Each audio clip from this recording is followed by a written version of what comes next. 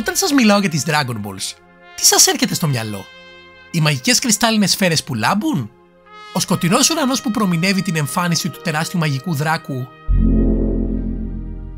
Ή κάνουν να εκπληρώσει κάθε ευχή; Ή το γεγονός ότι αν και έχουν χαρακτηριστεί ως πανίσχυρα αντικείμενα, ένας από τους βασικούς τους κανόνες είναι ότι δεν μπορούν να αναστήσουν ένα άτομο άμα έχει πεθάνει για παραπάνω από ένα χρόνο; Τι θα λέγατε όμως; Αν σας έλεγα ότι ο παραπάνω κανόνας όχι μόνο δεν είναι σωστός, αλλά αποτελεί μέχρι και σήμερα την μεγαλύτερη παρεξήγηση.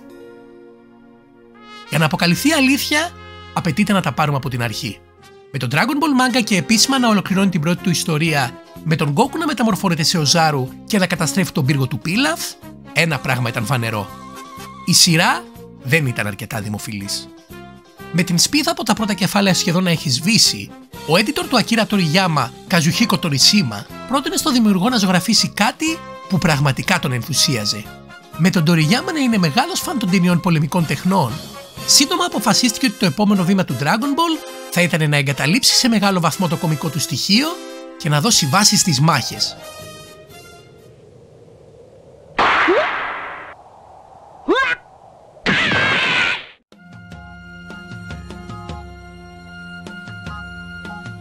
Μαζί όμως με αυτή την ιδέα εμφανίστηκε και ένα τεράστιο πρόβλημα. Οι Dragon Balls, τα πανίσχυρα μαγικά αντικείμενα που μπορούσαν να εκπληρώσουν κάθε ευχή, είχαν και επίσημα βοηθήσει να αναστηθεί ένα άτομο από τα πρώτα κιόλας κεφάλαια της σειράς. Γνωρίζοντας ότι μια τέτοια ικανότητα θα μείωνε την ένταση σε κάθε μάχη με έναν μεγάλο κακό, ο Τουριάμα άρχισε να σκέφτεται πώς θα περιορίσει τις μαγικές σφαίρες. Ο πρώτος περιορισμός ακολούθησε πολύ σύντομα, με τον Goku να εξηγεί ότι οι Dragon Balls δεν μπορούν να εκπληρώσουν την ίδια ευχή δύο φορές. Αλλά αυτό δεν ήταν αρκετό. Λίγα κεφάλαια αργότερα, όταν του ζητήθηκε να αφανίσει του Σάγιανς που απειλούσαν τη γη, ο Σένρον για πρώτη φορά στη σειρά ανακοινώνει ότι δεν μπορεί να εκπληρώσει μια ευχή που ξεπερνάει τις δυνάμεις του δημιουργού του. Ο μεγαλύτερος περιορισμός όμως δεν είχε ακόμη ανακοινωθεί. Με τη μάχη του Γκόκου και του Φρίζα να έχει φτάσει στο απόλυτο σημείο και με τον Γκόκου να ανακοινώνει ότι θέλει να πολεμήσει το διαστημικό τύρανο όταν θα είναι στο 100% της δύναμή του, ο Κάμε αρχίζει να μαζεύει τις Dragon Balls, ανακοινώνοντας και επίσημα τον μεγαλύτερο περιορισμό τους. Με τον βασιλιά Κάιο να ρωτάει αν οι Dragon Balls μπορούν να φέρουν πολλά άτομα πίσω ταυτόχρονα, σε αυτό το σημείο γεννιέται η μεγαλύτερη παρεξήγηση.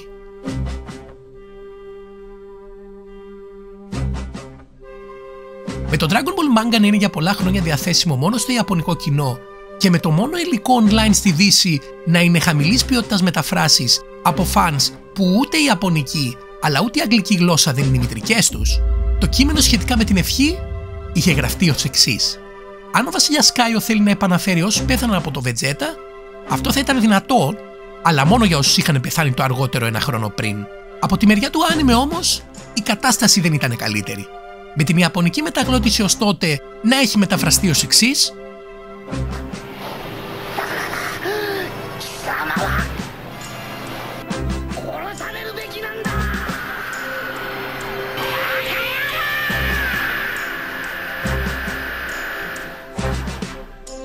και την αγγλική μεταγλώτηση να έχει ανακατέψει τους διαλόγους αλλοιώνοντας το νόημα του αρχικού κειμένου και ενισχύοντας ακόμη περισσότερο την παρεξήγηση.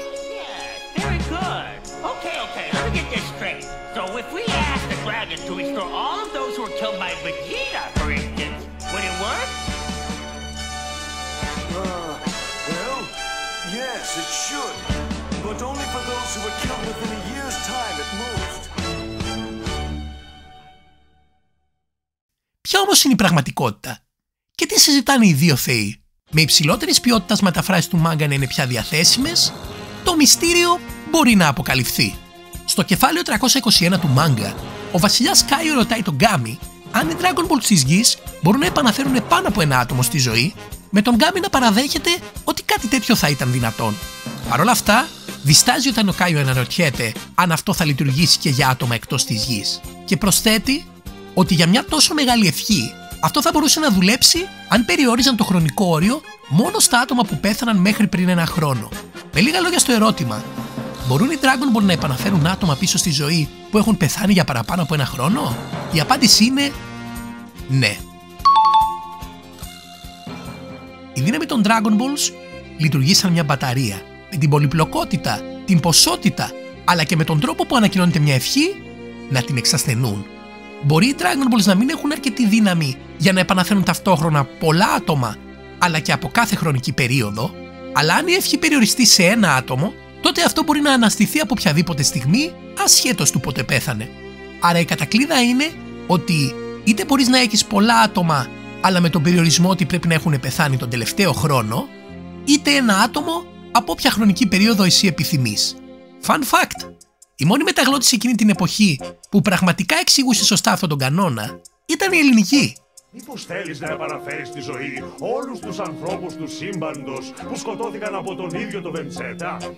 Αυτό μπορεί να είναι πιθανό, αλλά θα ισχύει μόνο για όσους ανθρώπους σκοτώθηκαν μέσα σε ένα χρόνο.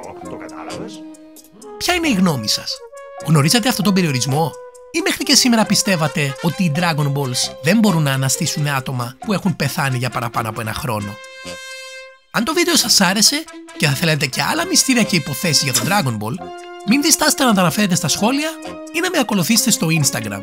Κάντε share το βίντεο και που ξέρετε. Μπορεί το επόμενο μυστήριο που θα αναλύσω να είναι δική σας επιλογή. Από μαζί και Ρεντέστρο, γεια σας!